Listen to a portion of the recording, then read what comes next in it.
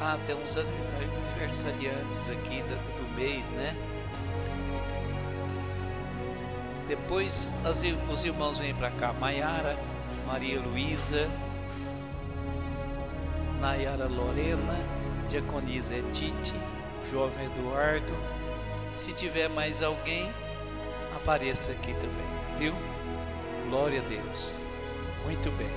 Os irmãos que estão, vão fazer aniversário, vem. Nós vamos ainda tirar a nossa oferta. Os irmãos vão cantar um corinho ali. Amém? Estaremos terminando. É dia de festa.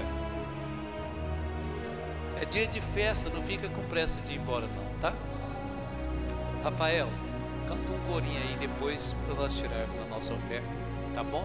Depois da oração. Vamos agradecer a Deus? Senhor nosso Deus, nós te agradecemos por este culto, por esta ceia abençoada, por tudo que ouvimos, que presenciamos neste culto.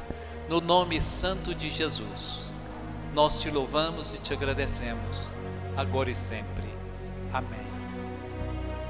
Deus abençoe, sentai-vos só um minutinho aí, enquanto nós vamos. Aqui os aniversariantes, né? Os aniversariantes. Estenda suas mãos para cá. Estenda suas mãos. Vamos ministrar uma bênção sobre a vida deles? Vamos?